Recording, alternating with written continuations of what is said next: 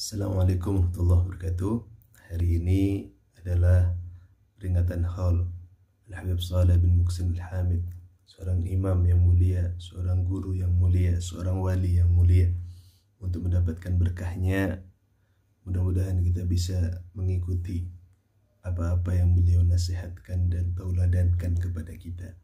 Salah satunya ingin Al-Fagir baca beberapa nasihat-nasihat beliau pada kesempatan ini yang pertama beliau sering menasihatkan dengan kalimat Hiduplah engkau seberapapun lamanya Namun engkau pasti akan mati.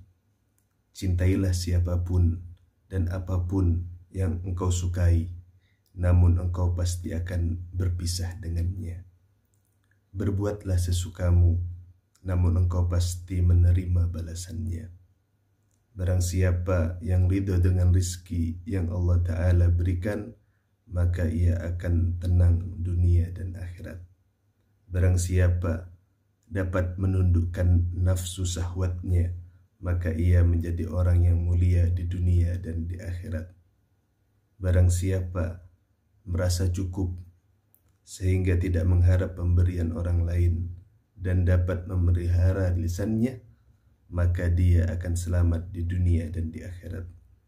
Seseorang akan naik derajatnya karena hasil perbuatannya bukan ucapannya.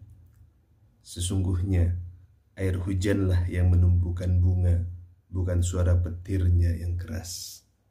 Sekelumit daripada nasihat-nasihat beliau yang mulia, sesungguhnya beliau sangat-sangat mencintai kita Beliau sangat memberikan banyak nasihat kepada kita. Mudah-mudahan kita bisa mengambil hikmah. Tidak perlu panjang-panjang untuk menjelaskan hal ini. Cukup direnungkan saja. Karena tidak pantas bagi kita menerangkan apa yang beliau sampaikan. Assalamualaikum warahmatullahi wabarakatuh.